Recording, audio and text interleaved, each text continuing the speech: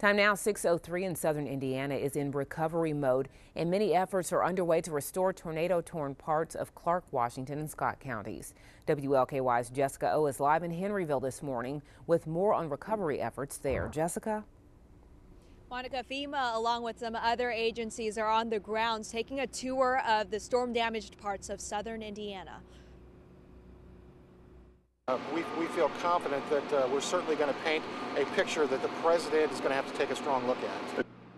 And that tour is expected to be done by today, and that means a letter of recommendation on disaster assistance should be ready for the governor by the end of this week. Now, it's help that's much needed as dozens of homeowners had their houses demolished by these tornadoes.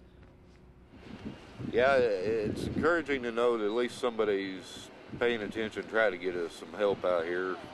The governor has already indicated that he is going to push that recommendation forward. And in order to get tornado victims the help that they need as soon as possible, the state of Indiana is setting up a one stop shop so those tornado victims can get as much, much assistance at one location. Now, the location in southern Indiana will be on the first floor of Ogle Hall at Ivy Tech in Sellersburg. They're going to be open starting noon today, open for the next 10 days. You can find all the information on our website at WLKY.com. For now, reporting live in Henryville, I'm Jessica O, WLKY News.